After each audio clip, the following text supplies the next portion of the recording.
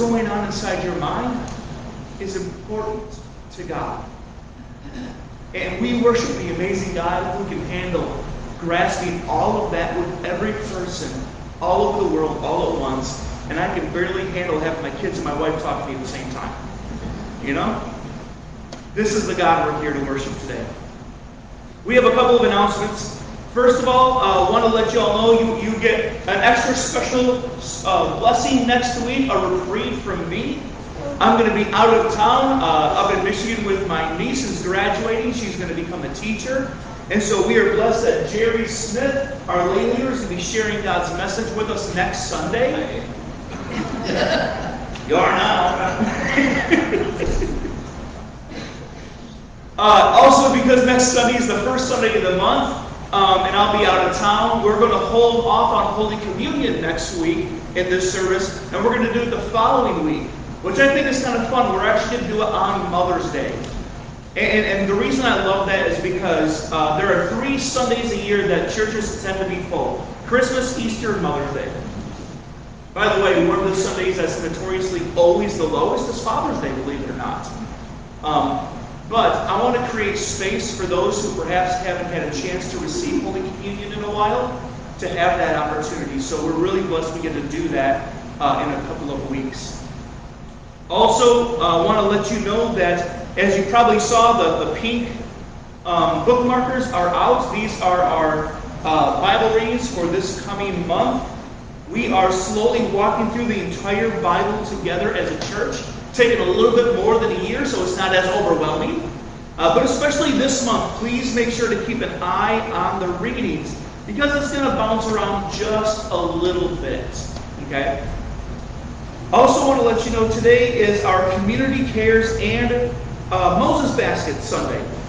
And so on our Community Care Sunday, uh, anybody that would like to bring in non-perishable foods, you're welcome to always bring them in. Please put them at the exit near the bell tower, and they will make its way to, to Community Cares where it's going to feed families in our area that are in need. We're also going to be praying over our Moses baskets, and these baskets are going to be going out to expectant mamas or potentially new mamas who are brave enough to say they need help and went to a pregnancy center. And so we are really honestly jazzed that we can even be, just be a small part of those young lives. Anything else for the good of the family? You'll join me in a word of prayer?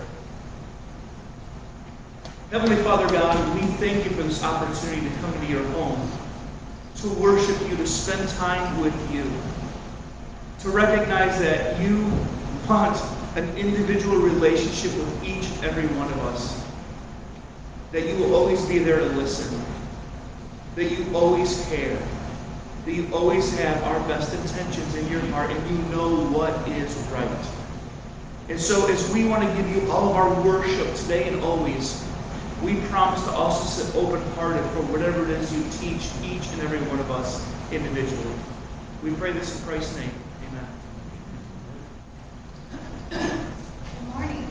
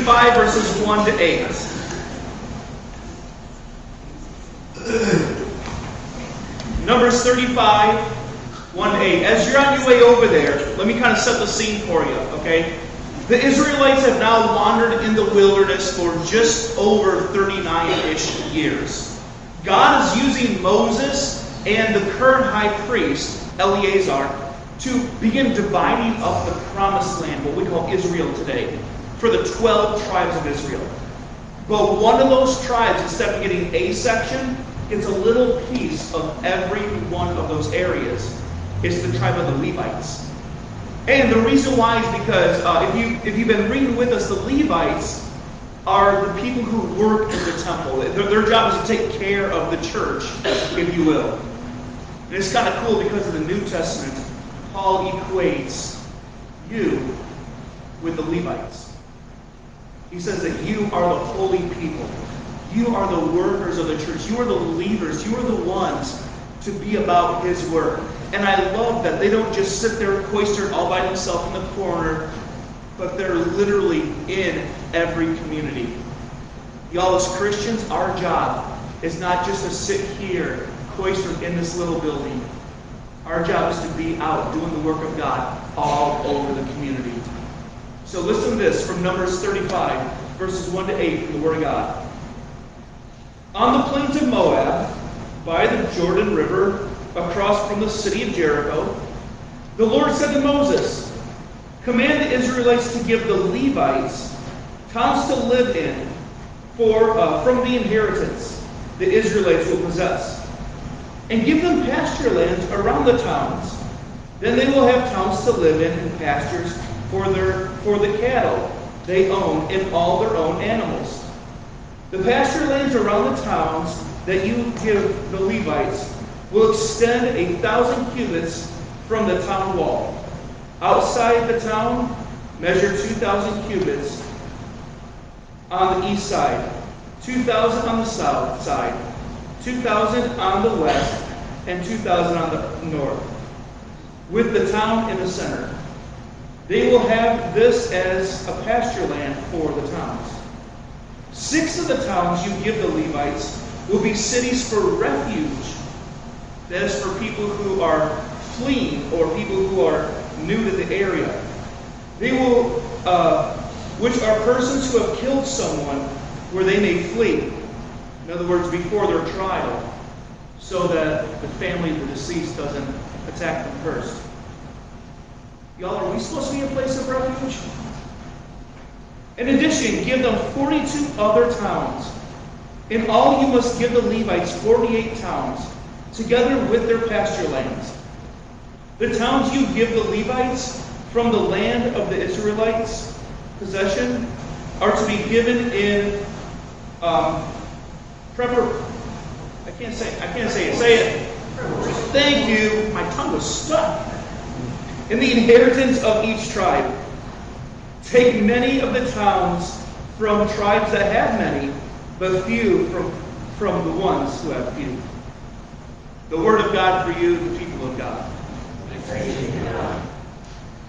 Y'all, let's continue our worshiping together as we give back to God just a little of what He's given to us through our tithes, our offerings and our prayer requests.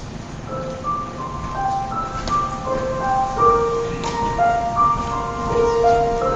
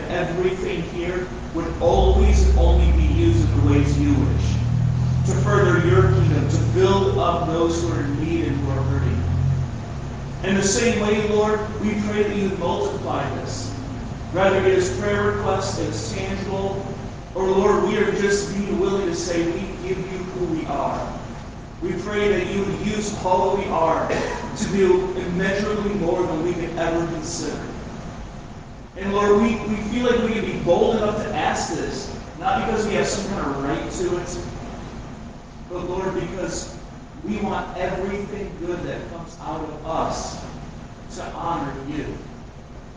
In the same way, Heavenly Father God, we thank you for these baskets and the hands that prepared them. We pray, Lord, that these would go out and these would bless some beautiful babies that you would be with the mamas and, and the daddies, and that you would bind those families close together.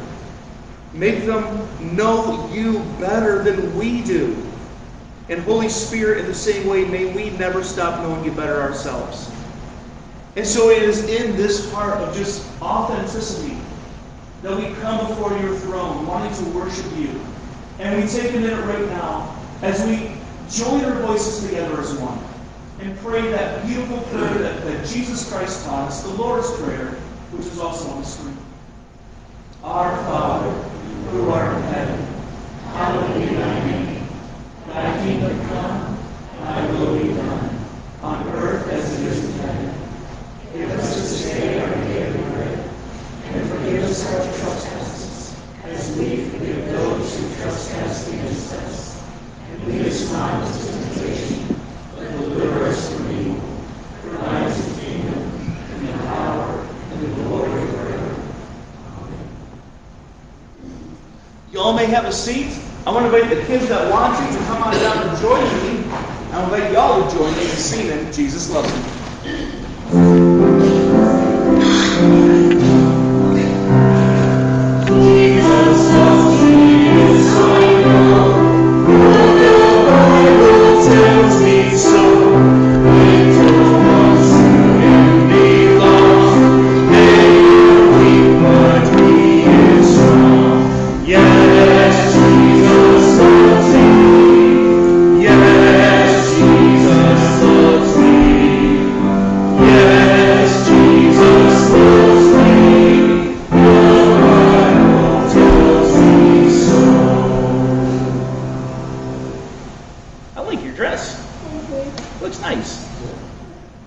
So much better on you than it does on me. I, I, I gotta wear this. I think this is the closest to a dress I'm gonna wear though. Okay. Did y'all know that preachers invented snuggies? Y'all know what snuggies are? Like those blanket rope thingies? Okay. We've been wearing them for hundreds of years. It's great stuff. Come on over. I know that was bad, wasn't it? Okay. that we used to be paid down. Okay. So we have, uh, Alara has a prayer request for us. So what, what is your prayer request? Prayer. We still need he to who still prays from from the tornado yesterday. Yeah. A lot of, of people's houses got got damaged, and, and I think that they don't have enough money for our house. They might not. Yeah, there's there's some tornadoes in um, west part of our country, I believe. The other day, a lot of people lost property. So, yeah, thank you, thank you for that. All right, CJ, you have a clue for us of what's inside? Yes, that thing is church appropriate. Like, It's church appropriate. Okay, I'm happy so far. All right. A cross. no. But and this is something God made, but somebody recognized. Mhm. Okay, something that God made, but people replicated. Some of your okay. And An animal? Yes. An But animal. what kind? Bunny. No. Is it a, Yes. it's a bunny. Okay. That went really fast. I wasn't even keeping up. And they sing. Ah! have Go ahead, one. stand up and show everybody. But it's smaller.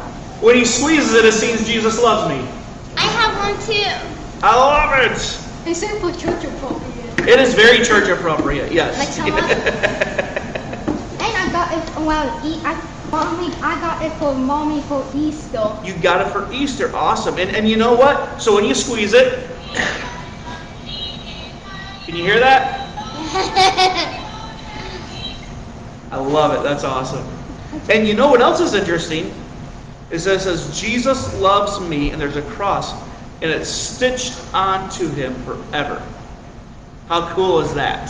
Yes. It's like it's become a part of him.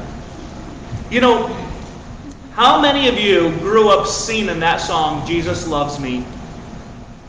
Like a lot. Yeah? How many of you knew that there's like four verses to it, not just the one we sing on Sundays? Do you know that? It's kind of cool. Like Google it when you get home. But this song, Jesus Loves Me, is something that we sing every Sunday, right? Yes. Yes, and it's not just a time filler waiting for you guys to come down the stairs, but it's got an important message. I mean, honestly, do you know that Jesus loves you? Yes. Do you know that there is nothing in this world, nothing you could ever do that would ever make him stop loving you? Do you know that? Yes. Do you know that Jesus will always be proud of you? Yes. He might not always be proud of what you do, but he'll be proud of you. You are important to Jesus. Okay? And, and, and so, in the same way, what, what happens is when we realize that this isn't just a song or that what we do here isn't just a ritual, y'all. Okay, this isn't just a, something to do on Sunday or to look good in the community, but that we actually have Jesus in our hearts. We've been changed. You have a love inside of you. You don't have to feel the guilt of shame of of the bad things that you've done. There's a joy in us. There's a happiness. There's an excitement about being one of Jesus' followers. And so, in the same way that this little bunny has that song written upon his heart, and he sings it every time you squeeze him, and he has the phrase, Jesus loves me, stitched right onto him. It's part of who he is. So, I want you guys to know that all the Sunday school lessons, all the sermons, everything else, we don't do these things just because, oh, we're supposed to and mommy or daddy make us do it. It's because God has a love for you that is so important and so big that it can change who you are on the inside and the outside. Okay? All right, let's pray.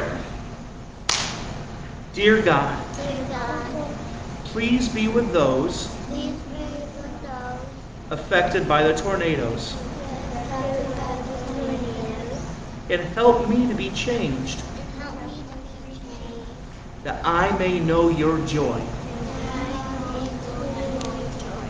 I pray in Jesus' name. In Jesus' name, Amen. Amen. Right, go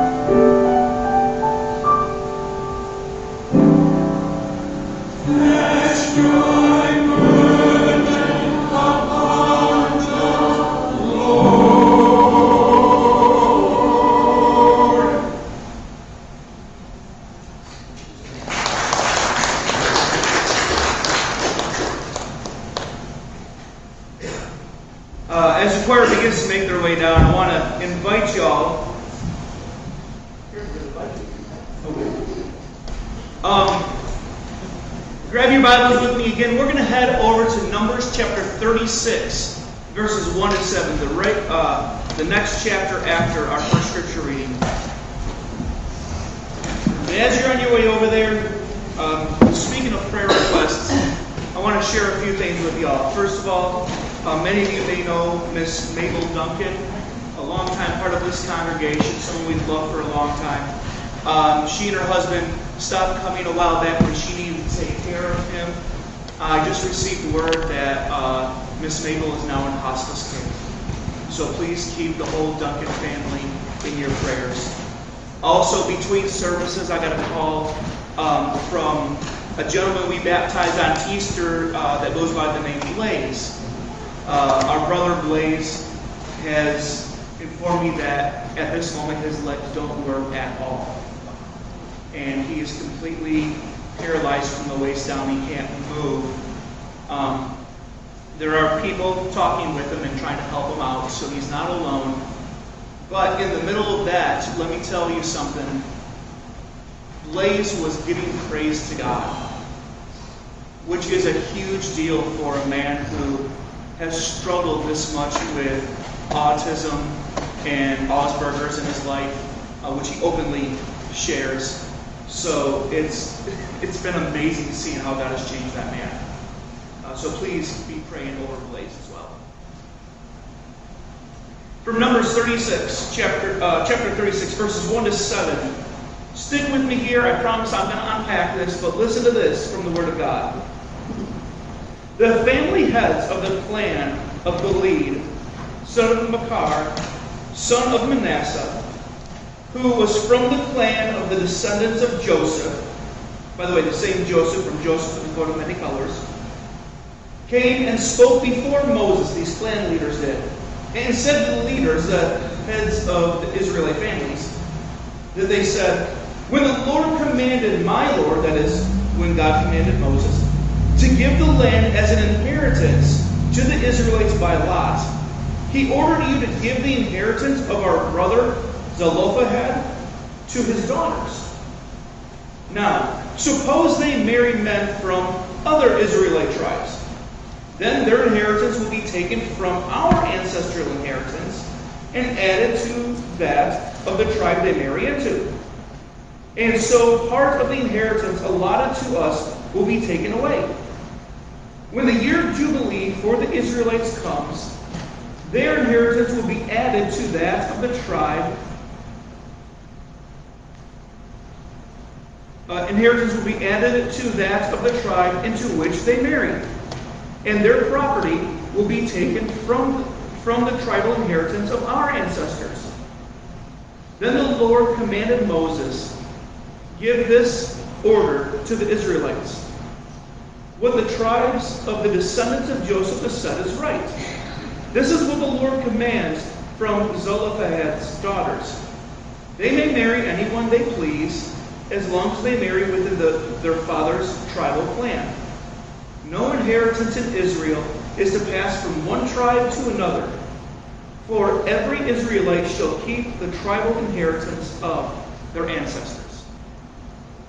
The word of God for you, the people of God. Thanks be to God. Okay, anybody else thoroughly confused? Oh, good, you all get it. All right, amen. Let's go home.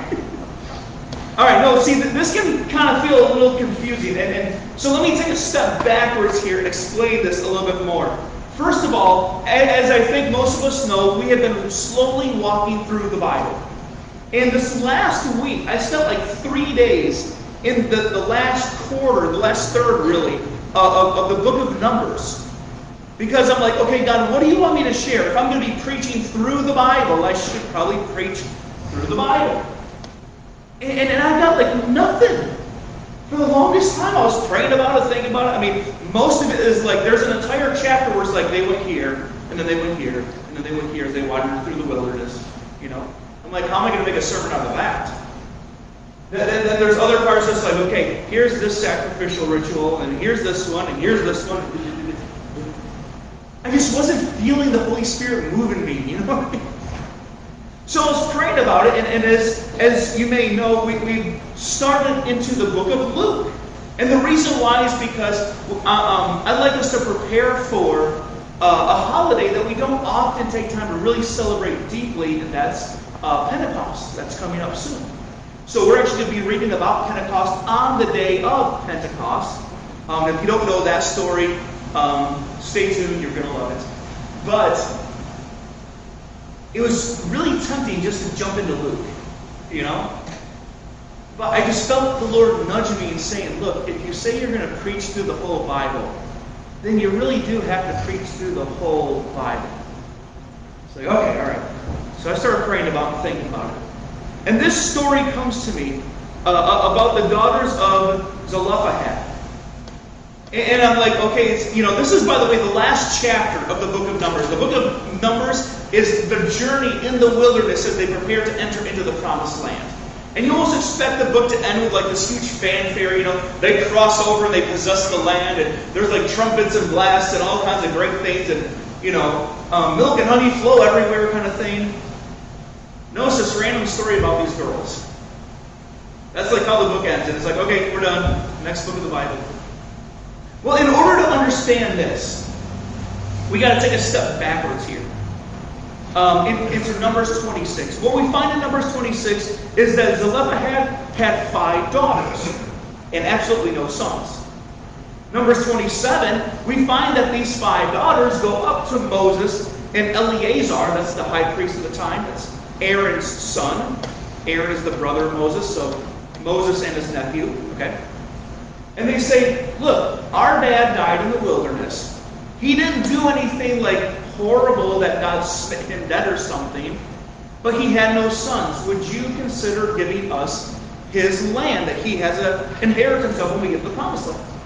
And Moses and Eleazar prayed about it, and God said yes. That if, if there are no sons, then give the land to the daughters. Which, by the way, is an amazing concept to consider all the way back in the book of Numbers. That God is honoring these women in this culture and time. God says, during this time and culture, that these women can have this property. Even more interesting than that is this is the first biblical account that I'm aware of of any woman owning property, period, in the Bible and it was by God's command. How cool is that? Just to show us the value and the importance that God has of all people, not just some people. And so by the time our scripture gets here, and at the very end of Numbers, verse 36, what we find is that, that the people in the tribe of these five girls, these uh, Zelophehad's daughters, they're like, hey, you know, something just kind of struck us. You know, they go up to Moses and Eleazar and the other leaders in the community. They go, wait, you know, if these girls marry somebody that's not in our tribe, and, and then they, you know, maybe have kids or whatever, and, and then when the parents die, who gets the property? Well, the kids do.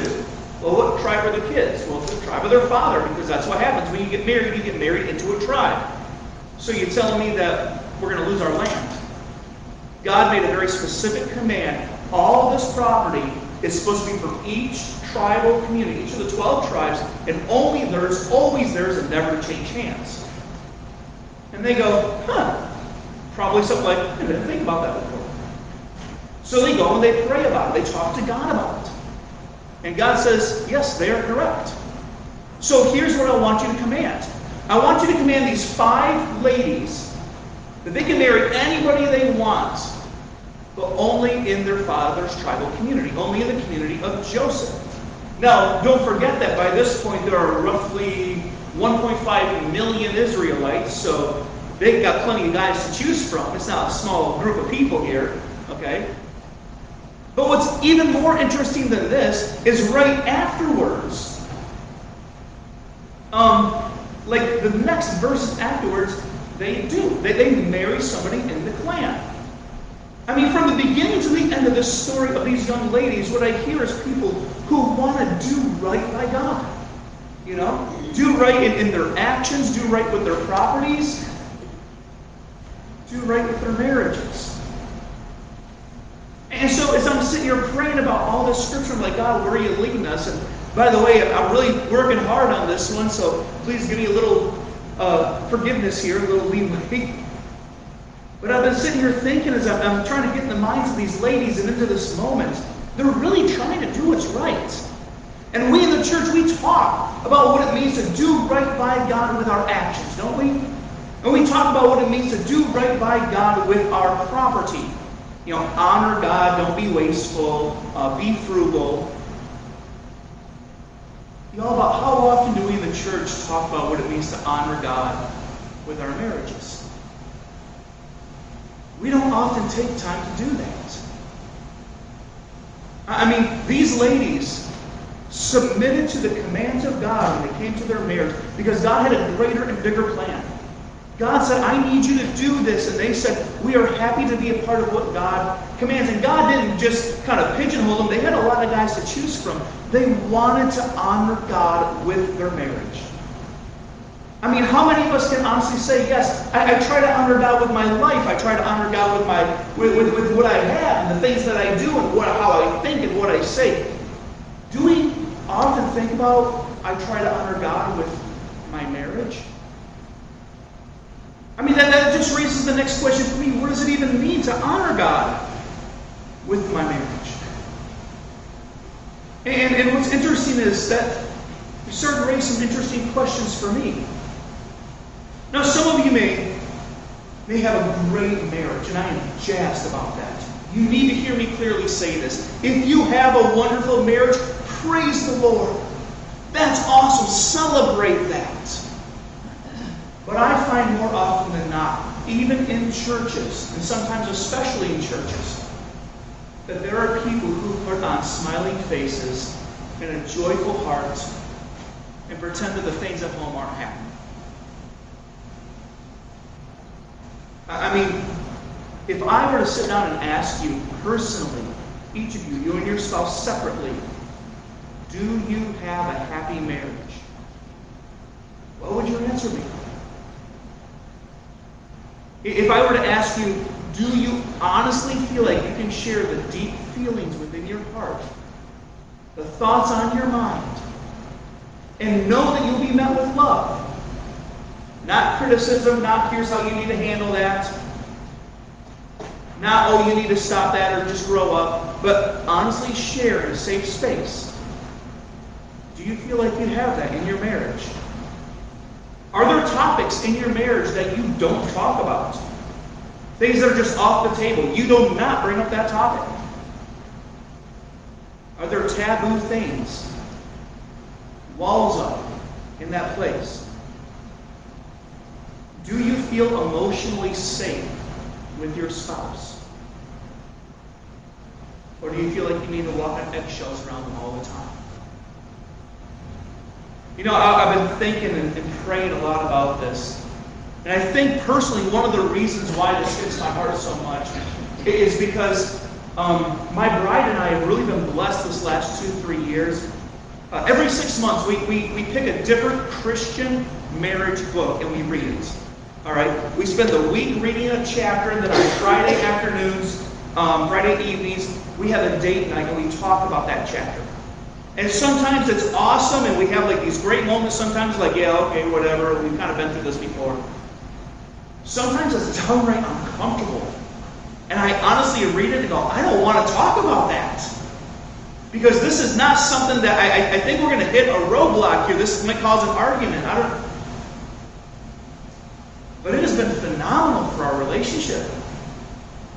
I mean, it has really changed things for us. Did you know the Bible talks a lot about marriage?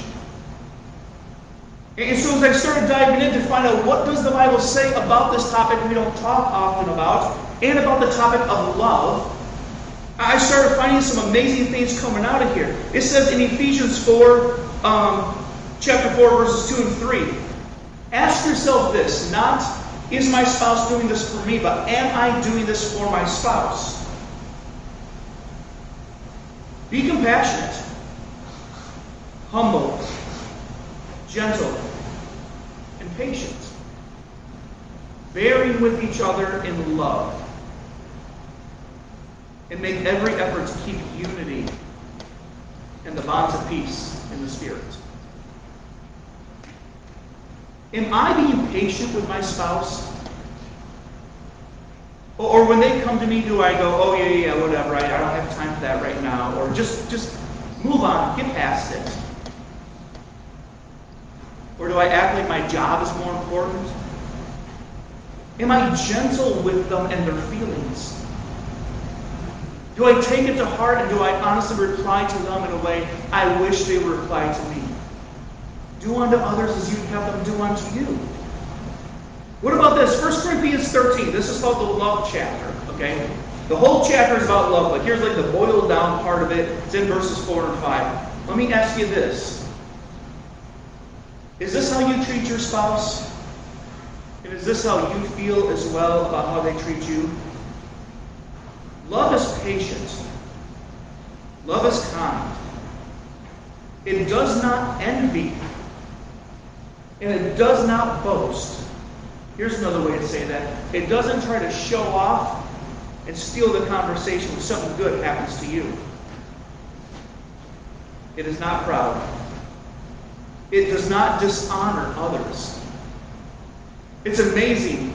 The, the, the people that we know the least in our life, like complete strangers, we tend to treat them the best. We were the most professional with them, we're the most kind, gentle, forgiving. The people we love the most, we tend to be the most critical with and most aggressive towards. Love does not dishonor others. It is not self seeking. It is not easily angered. Here's a hard one it keeps no record of wrong. Imagine taking those out of your fights. Scripture tells us that we are to be compassionate and gentle with our spouses, with, with, with the people who, who they should feel like you are the most safe in their arms, and vice versa. That, that you can open up and tell them anything. And even if you don't always agree, and you're not going to always get along, okay, that's called being human, that's called having different personalities, that's okay. But do you honestly feel safe to share with them? And do they with you? I think it's important we take a moment to define this word love. Because as much as we talk about it in the church and we do try to set the record straight, the world keeps trying to redefine it over and over. They throw it at us so much. that they misconstrue the actual definition of love. Love is not emotion based only. Yes, there's some emotion in there, but the emotions are a byproduct. Okay? They're not the roots. Here's the roots love is a choice. It is me choosing to put someone else first. It's me choosing to show this person I care for them. If I tell my girls, my baby girls, I love them, but I never have time for them, I'm always working, I'm always short with them, and I'm always criticizing them. When they get to be adults, are you going to think that they're going to go, yeah, my daddy loved me growing up? Then why should we expect our spouses to? Why do we feel, if we're always criticized, that our marriages are perfect? No, love is patient, kind, and gentle. Love is an action. Love is a choice. Love is how you act. It's not just what you say. A big part of that, as I was ta- as I was researching love and, and, and, and, marriage in the Bible, you know what kept popping up over and over again? Forgiveness. I was floored at how much forgiveness kept popping up. Ephesians 4 32. Be kind and compassionate to one another, forgiving each other, just as Christ God forgave you. What if you forgave your spouse as much as you expect God to forgive you? Do we treat our spouses like they are the enemy?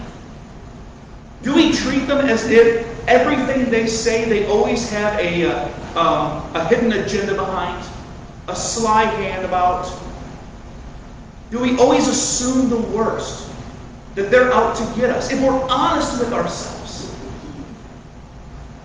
is it because something did happen once or twice or a dozen times, but we haven't been able to let go of that something? And so realistically, we live with the person that hurt us the most.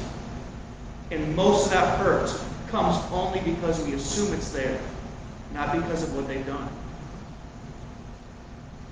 1 Peter 4 8 says, Above all, love each other deeply, because love covers a multitude of sins. Look, the reality is you're going to assume things. I am going to assume things. I stand in the middle of traffic, see a car coming at me. I'm not going to go, hmm, I don't want to judge them. Right? You're going to get out of the way. You're going to make assumptions. If you're going to assume, and you made the covenant to love them your entire life, and they did you, stop assuming on the side of hate. Start assuming on the side of forgiveness, mercy, love, and gentleness even if you're wrong. I'd rather be wrong on the side of love than be wrong on the side of hate. Above all, love each other deeply because love covers a multitude of sins. Stop nitpicking. Let the little things go. You know, it's amazing because in our lives, we tend to have a lot of latitude to forgive ourselves. Oh, people should understand why I act this way. I was busy, I was tired, I had a lot going on, da da da da but we don't seem to have very much patience with other people. We criticize others. And I'm not just talking about marriage anymore. I'm talking about your friends, your children, your grands. I'm talking about your neighbors. I'm talking about your family. We can have all the patience in the world when it comes to us because we understand us. We can be really short with everyone else. Once again, we're really nice to strangers. But the people we love the most and should feel the safest around us are the ones that we don't treat the best. There's one other topic that came up over and over again as I was studying scripture uh, in preparation for today. And I want to be very gentle with this. And I want to be very purposeful about this too, because um, as I've counseled couples over the years, this is a topic that if we really do open up and they really do talk honestly, it almost always comes up as an issue. Okay? And, that is the fact that Scripture tells us in Matthew, uh, I'm sorry, in 1 Corinthians 7, 3 through 5, that husbands, you have a duty to your wives to care for them physically. And wives, you have a duty to your husbands And what you need to understand about this is, is that God has designed us to physically and emotionally need each other. But what we get out of it is two different things often. Not for everybody, but often. Ladies tend to find a sense of peace and comfort and togetherness. And then it is not any more than that. And for gentlemen, if they're not careful, if we're not careful, we can have a physical pressure literally building up into us to a physical discomfort. And that physical discomfort can become pain. And if love isn't cared for the right way, it turns into lust.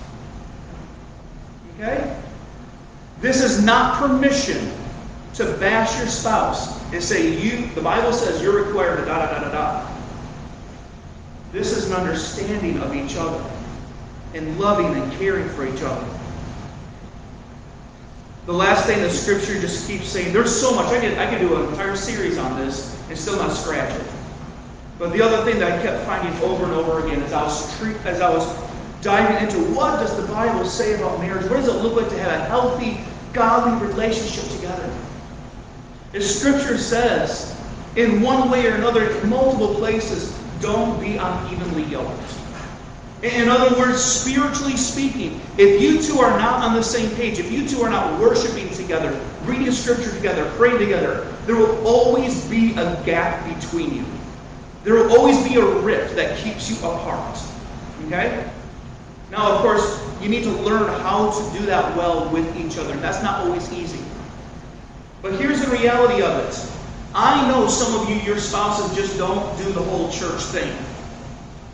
But maybe today is the day that you say, you know what? Don't do it just for you, do it for me. I need us to be closer. And hear me clearly say this. I love you, and I want every one of you in this congregation. But if your spouse is willing to go somewhere else, I want you to go with them. Okay? I'd rather see you in the kingdom of God than in the castle of this church. I'd rather build up God's house than build up this structure.